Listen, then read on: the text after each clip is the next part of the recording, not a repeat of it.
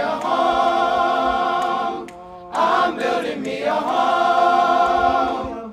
I'm building me a home.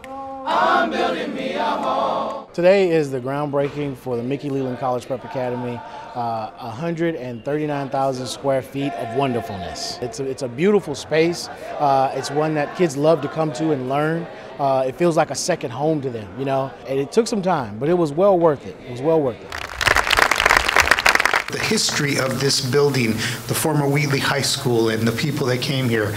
This is what we do. We honor our past and use the past as the cornerstone for educating the future doctors, engineers, architects, lawyers, teachers, business people, and maybe even a superintendent or two, right here from the Mickey Leland College Preparatory Academy.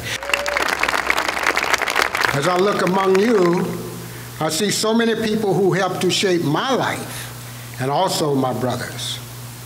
Let us enjoy this time together.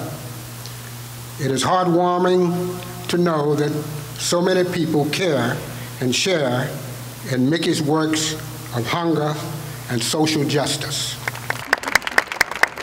I am very excited um, about this space. It's 21st, 22nd century learning for these boys. It's engineered beautifully.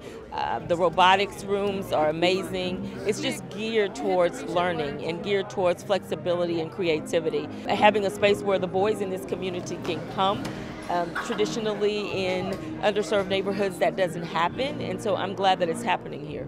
I just know that this is an investment that's probably pays off in dividends in human lives far beyond where we are. I'm proud of the school. I'm proud to be a, a senior of uh, Mickey Leland College Preparatory Academy, and uh, I'll definitely be saying more about it when I go on in the future. Yay!